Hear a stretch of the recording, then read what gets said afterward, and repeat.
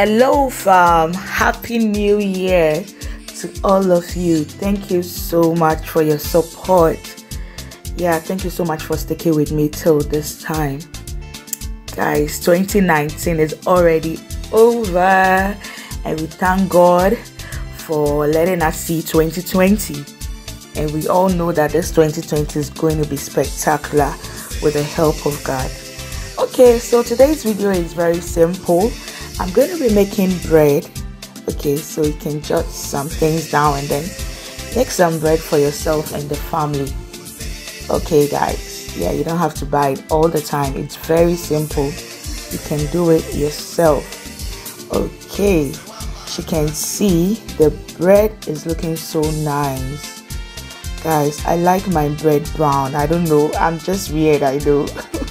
but some people don't like it when it's burnt okay? This is not burnt but then i just love it brown like this okay? So yeah let's get started. Okay so first of all i need to prepare my yeast. So i'm going to teach you how i prepare my yeast. I need water and then two teaspoons of yeast because i'm going to use just um, one kg of flour or let's say two pounds of flour okay? So you need a lukewarm water. So i have my yeast i'm going to pour the water. And then mix it. It has some lumps in it so i think i just have to use my hand. So you mix it thoroughly until it's very smooth then you have to leave it in a warm place to rise. So basically that's it. I'll show you the results later.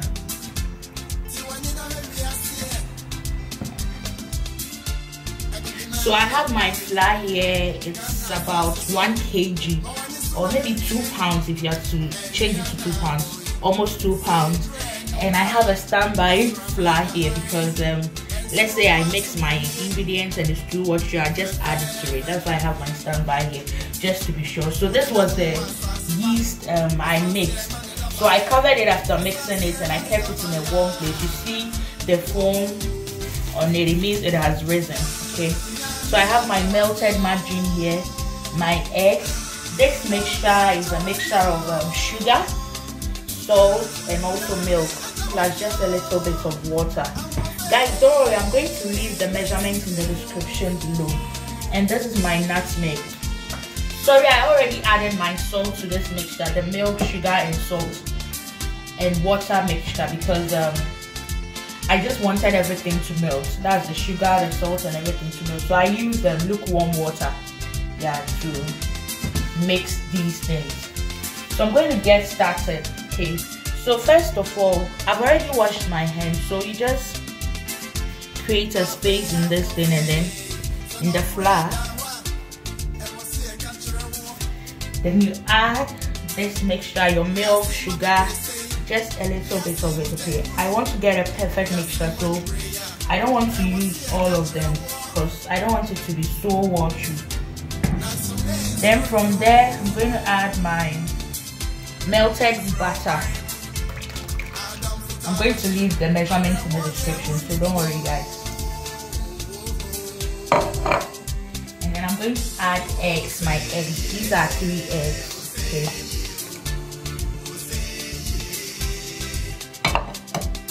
Then I have my um, nutmeg here.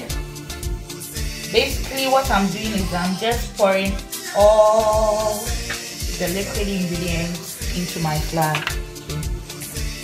I'm going to pour everything, my yeast here.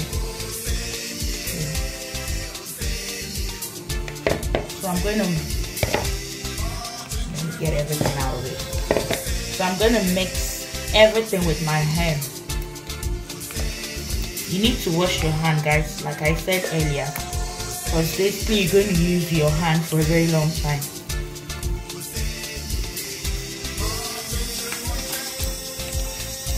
you keep mixing. If you have a mixer, feel free to use it. Okay.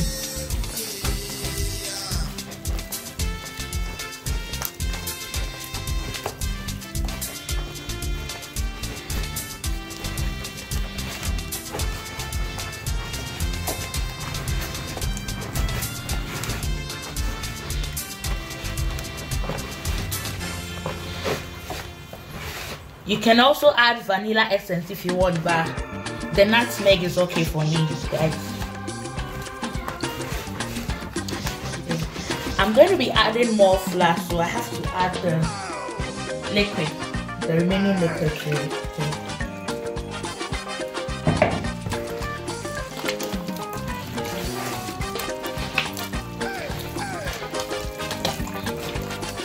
Cooking is about getting the right measurement especially baking. If you get the wrong measurement everything gets destroyed. So don't worry i'm going to leave all the measurements in the description box like i said. Okay.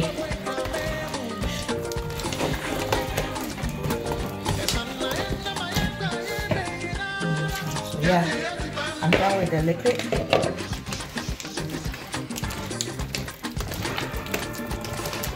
This is Ghana sugar bread.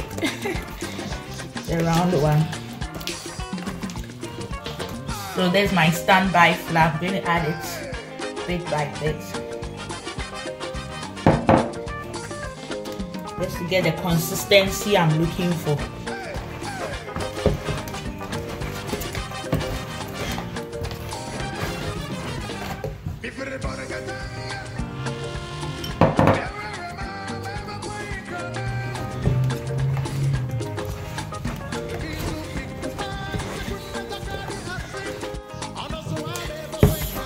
Yeah i think i like this consistency. I'm going to keep it aside and sprinkle flour on my tabletop and then knead it guys.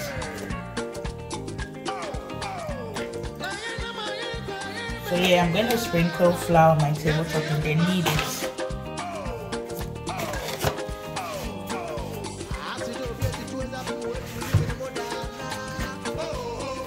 At this point it's quite soft but not really soft because of the flour on my tabletop it's going to be hard whilst I knead it.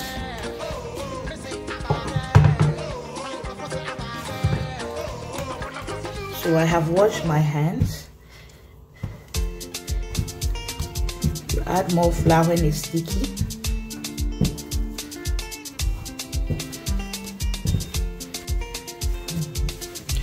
Whilst kneading it, you stretch it, you know, keep kneading it. With the flour like that. So yeah just for some time and then you're gonna keep it aside to rise again okay? To double in size. So yeah i think it's okay now. So i'm going to keep it in the bowl that i mixed the flour in and cover it. Yeah so i'm going to cover it to rise for some time before I start kneading it again and then mold it into the perfect shape guys yeah. So I'm going to keep it in a cool or warm area so that it can rise or double in size okay okay so guys this is how it looks like after leaving it there for some time. Okay wow you see it has doubled in size. Yes. So I'm going to be kneading it again what I have to do is that I have to sprinkle a little bit of flour and then knead it over again. Yeah.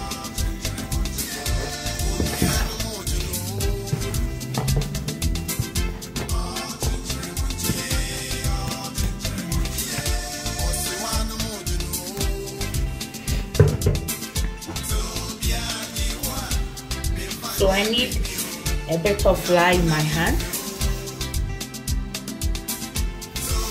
Then I start kneading, you know.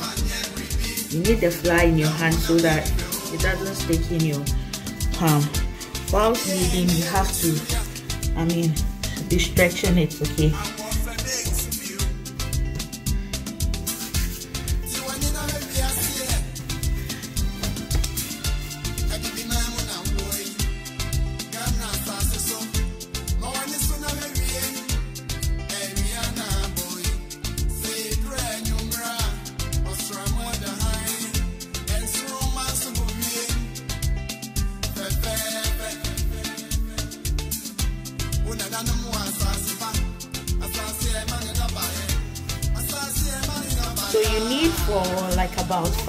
10 minutes okay?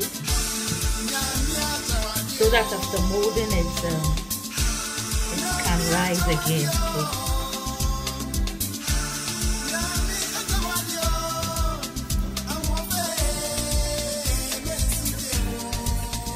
Keep stretching it while moving you know.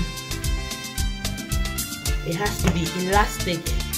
Then you know you are doing the right thing yeah so i'm going to cut it. I'm done kneading. Yeah.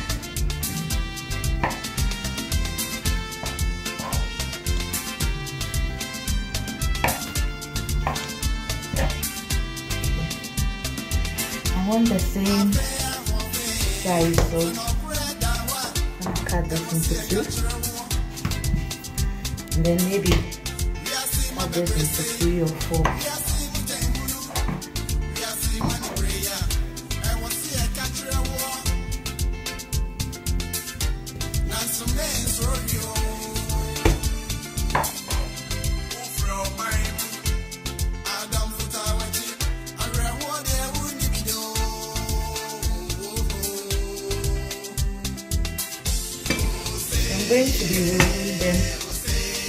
by.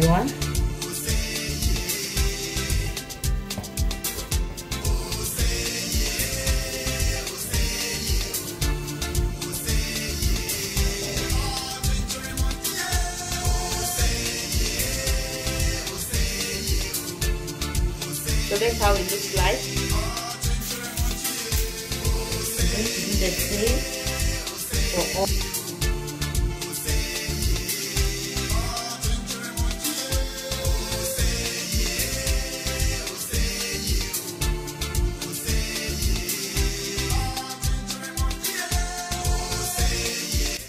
So this is how it looks after molding it. So i'm going to leave it in the oven to rise for some time. I'm going to turn the light on but then i'm not going to turn the oven on just the light in the oven okay? I have to leave it for some time to rise before i start to bake it. So maybe from 30 minutes to one hour it should rise a bit. Then i'll bake it. Then that's all this Christmas season, the family will be at home, so you can do this and then everybody can get a bite of it, okay? So yeah, I'm going to put it in the oven. Yeah, so I'm putting it in my oven. I have turned the light of my oven on, okay? But then it's not heated, guys, because I want it to rise before I bake it. So we're going to leave it there for some time. Yeah. Okay so guys this is how it looks after keeping it in the oven for some time. It has doubled in size. So what i'm going to do now is i'm going to take it out of the oven and preheat my oven so i can bake it afterwards. Okay? Yeah so let me take it out and then preheat my oven.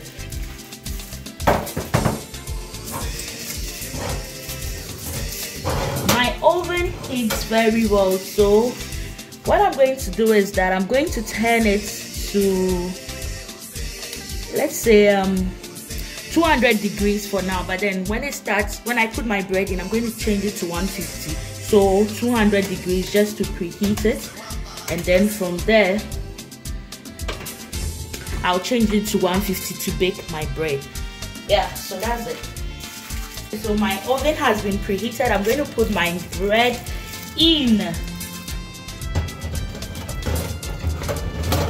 and wait till it's done. Okay. Like I said, I'm going to bake at 150 degrees Celsius. My oven really heats quickly and it gets hot. That's why I'm baking it at 150 degrees Celsius. As you can see from the oven, it is ready guys so i'm going to take it out and then brush a little bit of butter on it just to make it shiny. Okay guys so this is it. We've come to the end of another wonderful video. This bread recipe is really simple guys. Try it at home and let me know how it turned out. Okay so you can comment in the comment section below if you tried please don't forget to subscribe to my channel if you haven't subscribed yet. Also like this video if you enjoyed it. And also share it to people so they can also watch me your friends your family. Okay? Yeah i know 2020 is going to be better and greater. So thank you so much for sticking with me. Enjoy 2020 god bless you. Bye